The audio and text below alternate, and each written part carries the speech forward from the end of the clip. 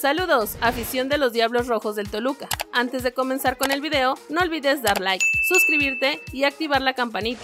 Sin más por el momento, iniciamos y jugadores del Toluca FC son llamados a selección. ¿Quiénes son? Varios jugadores del Toluca han recibido su recompensa ya que han sido llamados a su respectiva selección y acá los detalles. El buen paso del Toluca FC y de sus jugadores han hecho que las selecciones nacionales volteen a ver al club para hacer algunos llamados. La ausencia de Marcel Ruiz en la convocatoria de Jaime Lozano causó mucha molestia en los aficionados escarlatas ya que para muchos merece un lugar. Para fortuna del juvenil fue llamado a la selección menor de México y acá te dejamos todos los detalles de su convocatoria ¿Qué jugadores del Toluca FC fueron llamados a su selección? Ricardo Cadena, nuevo entrenador de la selección mexicana sub-23, volteó al campeonato Escarlata para llamar a dos jugadores. El primero de ellos es el recién llegado Mauricio Isaís, quien ha demostrado su calidez desde que debutó con los Tuzos del Pachuca. El segundo es el ya mencionado Marcel Ruiz, quien también formará parte de esta selección. Sin duda, una excelente recompensa por su buen trabajo. No solo fueron ellos dos, el Loco Bielsa hizo un cambio generacional en la selección uruguaya y llamó a Maxi Araujo y por si fuera poco, el delantero Robert Morales también fue llamado a la selección paraguaya para jugar las eliminatorias mundialistas. Esta semana habrá fecha FIFA, por lo que los clubes no tendrán participación en la Liga MX. El siguiente partido será hasta el próximo 15 de septiembre. Tendrán una complicada visita ya que estarán jugando en la cancha del Estadio Caliente en contra de los Cholos, en un encuentro donde se reencontrarán con Carlos González. Posteriormente, los Escarlatas recibirán dos difíciles rivales. En el primer encuentro será contra el América y el siguiente contra las Chivas. Por otro lado, Ignacio Ambriz prepara los entrenamientos para la fecha FIFA. Ambriz sostuvo que el equipo tendrá un fuerte trabajo de preparación durante la venidera fecha FIFA para toda su plantilla con el objetivo de mejorar el rendimiento de cada uno de sus jugadores tras los resultados obtenidos en la League Cup y actualmente en la Liga MX. Vamos a hacer un trabajo que llamamos una cuña física porque todos los que fuimos a Estados Unidos era como jugar una liguilla, 15 días de no trabajar en alta intensidad, era jugar, recuperar, volver a preparar, viajar y jugar y normalmente en el aspecto físico, no trabajamos muchas cosas, destacó el técnico de los Diablos Rojos del Toluca. Ya para finalizar, Ambrí resaltó el trabajo que ha realizado el delantero Pedro Raúl, quien finalmente logró marcar un gol con el equipo en la presente temporada y aspira a que pueda seguir aportando en la ofensiva para sumar muchas más victorias. Recordemos que el equipo se ubica actualmente en la quinta posición de la tabla de clasificación del torneo Apertura 2023 de la Liga MX con un total de 12 puntos, gracias a que ha alcanzado dos victorias y dos empates en los últimos cinco encuentros.